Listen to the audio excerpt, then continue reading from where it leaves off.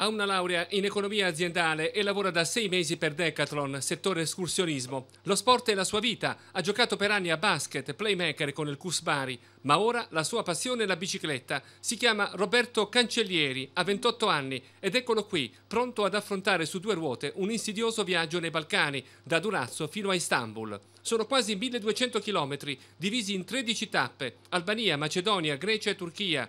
Civiltà e lingue diverse, asfalto, polvere, fatica, pioggia, vento, ma un unico messaggio di fratellanza, libertà e rispetto dell'ambiente. Il comune di Bari lo ha adottato, o meglio, ha adottato una sua impresa come esempio di mobilità sostenibile. Il logo del comune di Bari dov'è?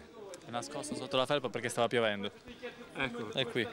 A chi dedichi questa impresa? A me stesso soltanto, solo soltanto a me stesso. Roberto ha caricato la sua bici, che ha anche un nome, Aurora, con precisione maniacale. Tenda, fornellino, pasta, perché ha detto che cucinerà ogni giorno, tonno e barrette energetiche, proteine e carboidrati per affrontare salite e sterrato. Niente GPS, né bussola, solo mappe e cartine geografiche. Se no, spiega ancora, non c'è gusto. Racconterà però la sua avventura giorno per giorno su Facebook, fino al 23 settembre, quando arriverà a Istanbul e invierà agli amici una foto dalla Moschea Blu. E già sta pensando alla Norvegia, il suo prossimo obiettivo.